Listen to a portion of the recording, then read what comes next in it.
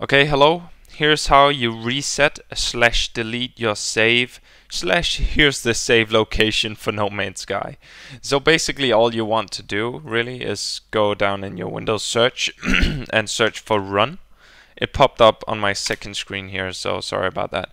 So this is basically the box that you want open. You can also open it by pressing Windows button plus R.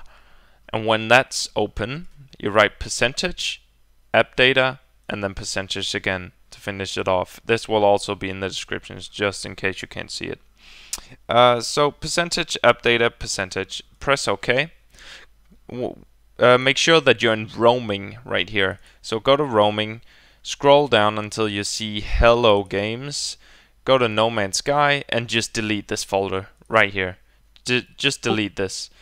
Um, so basically, that deletes your save. Now, if you have it on Steam, if you have your game on Steam, which I don't, but if you have, there's a very good chance that you have cloud saving. So if you have cloud saving, um, make sure that that is disabled. Otherwise, when you delete your save on your computer, as I just showed you, it will just download it again, and then you can't reset it. So right click on No Man's Sky. As you can see, I don't have it, so I'll just do it for Batman just in case here and then once you're in No Man's Sky properties, right click, go to properties.